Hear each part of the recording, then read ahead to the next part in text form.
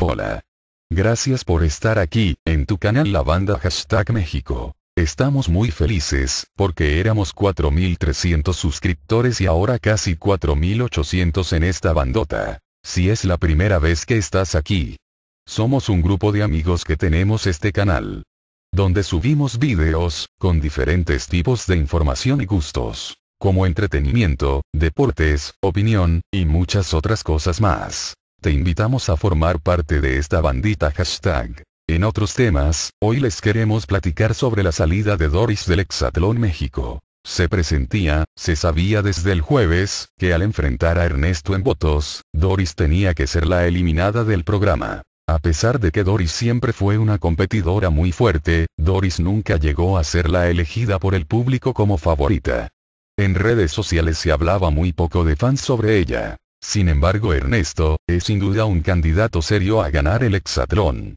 Y aunque se pueda ver un rival débil contra Daniel Corral puede darle una gran sorpresa, si Ernesto se lo propone. Muchos fans del hexatlón tienen mucha razón, solo dos participantes de cada equipo son los originales.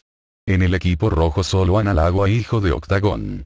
En el equipo azul Maki y Ernesto son los que han estado desde el principio. La llegada de nuevos participantes, le dio un giro total al programa. Daniel Corral, Kenia y Gloria con famosos, y Oscar con contendientes. La balanza ha estado fuertemente con el equipo rojo, los tres que llegaron han dado muchos puntos al equipo de famosos.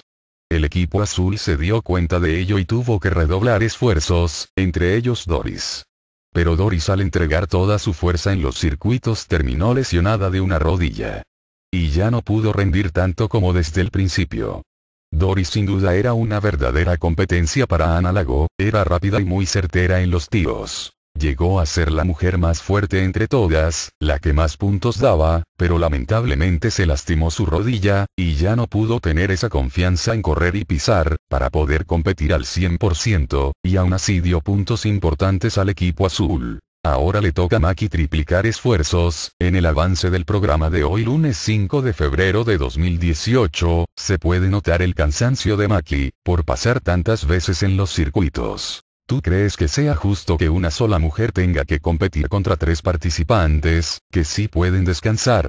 Mientras tanto Ernesto tiene que soportar a un Daniel Corral al 100%, y un refuerzo como hijo de Octagón. Sea justo o no, el programa cambió para bien de sus creadores, es uno de los programas de televisión más vistos en México, y es visto en otros países de Sudamérica. En realidad a la producción no le importa, si el equipo rojo está terminando con los participantes del equipo azul. Pero se nota que quieren una final entre Ernesto y Daniela como de lugar. Además que ya se acerca el momento de competir por separado. Para ti quiénes son los competidores más fuertes del hexatlón. ¿Quién es tu favorito? ¿Tú qué opinas?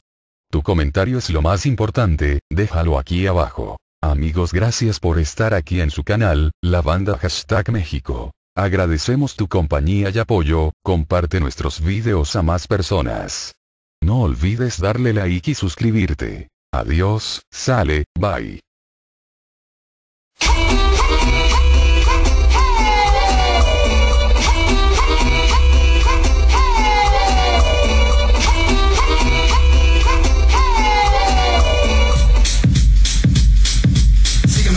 banda con las manos en el aire, sígame toda la banda con las manos en el aire, sígame toda la banda con las manos en el aire, sígame toda la banda con las manos en el aire. Sígame toda la banda con las manos en el aire, sígame toda la banda con las manos en el aire, sígame toda la banda con las manos en el aire, sígame toda la banda con las manos en el aire.